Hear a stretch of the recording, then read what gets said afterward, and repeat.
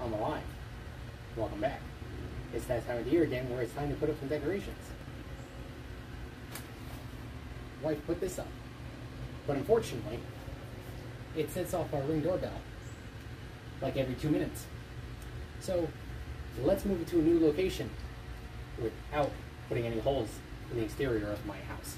Okay, if you've seen my previous video, I'm just going to use trusty old command strip, outdoor type, and just a clip. Now I'm going to put this together like you would do any normal command strip. There we go. Nothing different. But what we're going to do is we're going to supercharge it. We're going to use a few drops of Starbond CA glue. And this year I'm actually going to try some accelerator. The accelerator makes the glue harden uh, incredibly quickly.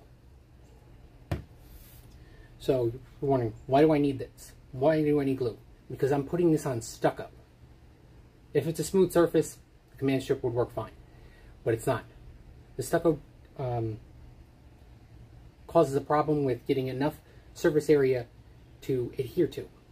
So the glue, just a few drops, will help uh, strengthen the areas where it can make contact. As always, I will have links in the description below for all these products. Let's get to it. Okay, like I said, just putting one or two drops, not a lot. Now try to find as smooth a place as you can uh, where you're going to mount it, uh, over here.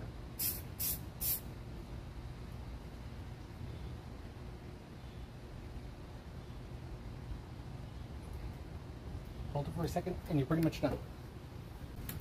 And that's pretty much it. I'm to let it uh, sit for just a minute just to make sure. And we're going to move the ghost over. But uh, you're probably asking, why the glue in the command strip? See, the glue is going between the stucco and the command strip.